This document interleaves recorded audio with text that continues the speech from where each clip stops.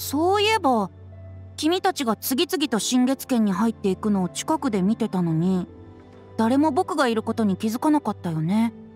僕の隠れ方がうますぎたのか。それとも風の音を誰かさんがあえて無視したのか。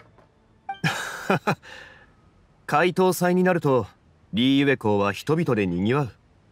皆明かりを眺めたり街を見て回ったりしさらに即興で旅に出る者までいる。人の動きは予測しがたいものだ。だがこうして祭りはつつがなく開催され友人と一堂に会せたのはまさに祝うべきことだろう。新年を迎える今皆とここに集まれたのは実に喜ばしい。この場を借りて酒の代わりに茶で皆と乾杯しよう。あさすが勝利先生。いい話だね。僕の代わりに言いたいことを全て言ってくれたよ。こんなことを自分から言うのはちょっと恥ずかしいんだけど招待されてもない僕がいきなりこの食事会に参加しちゃってみんなに迷惑かけてないかな。